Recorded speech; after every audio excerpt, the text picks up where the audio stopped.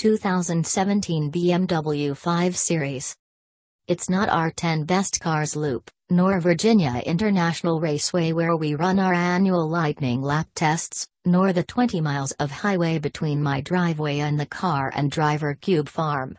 But near the front of my mental card catalog of roads I know well, there's a tangle of Portuguese pavement where the Atlantic Ocean rises to the Sintra Mountains. I've hustled Porsches and Jaguars through here, but this time it's a 2017 BMW 5 Series from the new G30 generation. This car on these roads stirs nostalgia more than most drives, because it was from behind the wheel of its predecessor that I first discovered the Portuguese Riviera in 2010. For BMW to return here with the seventh generation car feels a bit like taking a mulligan on the outgoing model. It was a fine car but an unexceptional BMW, moving the 5 Series closer to the 7 and distancing it from cars such as the landmark E3905er that gave definition both to the modern sports sedan and to the brand itself. A more responsive chassis. My most recent visit was just nine months ago in the 5 Series chief rival, the Mercedes-Benz E-Class. That car swallows highway miles whole even as it has grown more adept at corner workouts. This time, we shortcut the highway portion for a longer run on the good stuff, which proved to be a good decision. As we put distance between ourselves and the Lisbon airport, the 5 Series reveals itself as a competent cruiser, although its driver assist features are more annoying than helpful. They're the kind that gave rise to the pejorative term nannies, those we prefer to switch off, specifically the lane keeping assist system, which offers a suggestive nudge to guide the driver's hands but won't follow even the gentlest curves on its own. Maybe it's wishful thinking, but we take the limited progress on this front as a sign that BMW prefers human drivers to computers. Considering the updated engines, the familial restyling, and the evolved infotainment system, the 5 Series might read as a conservative redesign or as little more than a mid-cycle update. But this is an all-new model, and what it lacks in new tech and splashy changes, it counteracts with more artful chassis tuning than was found in its predecessor. We covered the most ground in a 540i M Sport, a six-cylinder package tailored both to our tastes and this BMW's character. Inevitably, there will be a plug-in hybrid, a V8, a four-cylinder, and possibly a diesel, but this Silken 6 is the non-M 5 series ideal. It delivers both right now responses and hushed refinement to create the perfect blend of sport and luxury. The new, single turbo 3.0 liter engine, don't ask us why BMW calls it the 540i, which once upon a more rational time denoted a V8, makes 335 horsepower and 332 pounds to foot, up from an even 300 in both measures in the outgoing 535i. BMW claims it's good for a 0.7 second improvement in the 0 to 60 mile per hour hustle.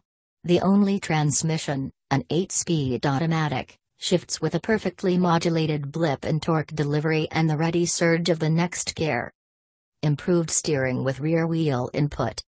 BMW continues to offer optional integral active steering, IAS, which combines rear wheel steering with variable ratio steering up front, and which we loathed last time.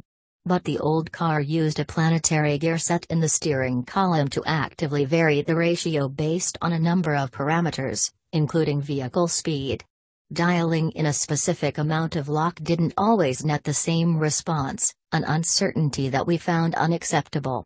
The new 5 instead uses a simpler variable ratio rack. Just as with Porsche's long-running technique, the steering becomes quicker the more you wind the wheel, but turn after turn after turn, the car's reactions are consistent.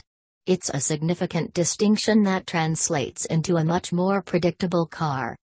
The steering weight remains a touch light on center, and the feedback is just as muted as we've, sadly, came to expect.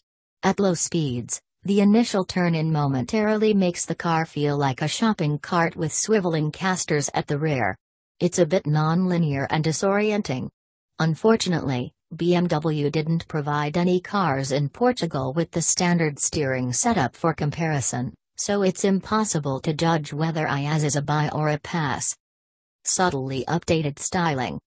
The road cosmetic work means larger headlights, with adaptive cornering lamps as standard, that butt up against larger kidney grills, which now contain automatic shutters for the first time. To fend off criticism that the 5 once again is a 7 Series rendered in size medium, BMW design chief Adrian van Hooydonk and his team pressed an additional pleat between the belt line and the crease that slashes through the door handles. This character line will reside exclusively on the 5 Series, although it's subtle enough to be relatively ineffective in distinguishing 5 from 7. Inside, designers modernized the same theme introduced with the 2011 5 Series. The iDrive 6.0 system includes a brilliant 10.3-inch display that doubles as a touchscreen. That firmly positions BMW's infotainment system as the industry's most redundant. Certain features can now be controlled via steering wheel buttons, center stack audio controls, voice commands, hand gestures, and the iDrive knob, with its own touchpad on top. This, the Bop It. Of infotainment dials, which you swipe, twirl, and thumb to activate, works better than you might expect. It proves intuitive to drag a finger to scan the map, then scroll through audio channels with the iDrive rotary, then adjust the volume via the steering wheel. Even with the M Sport package's lowered, stiffened suspension, the 5 Series drives with slightly more relaxed wheel control and improved ride quality compared with its predecessor. It's helped by a roughly 100 pound mass reduction and what feel like more compliant run flat tires.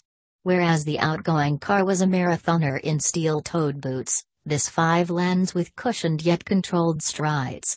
When the 5 Series goes on sale in February, the entry model will be a 530i with a 248 horsepower turbocharged four-cylinder. We weren't offered seat time in that car, but we did drive a 530d xDrive, an all-wheel drive, six-cylinder diesel that is a possibility but not a certainty for the United States. In the diesel there's a slightly lazy tip-in that feels more like pedal calibration than turbo lag, followed by a swell of thrust and admirably subdued noise and vibration. The cabin is impressively quiet, especially considering that the 5 Series does without acoustically insulating side glass.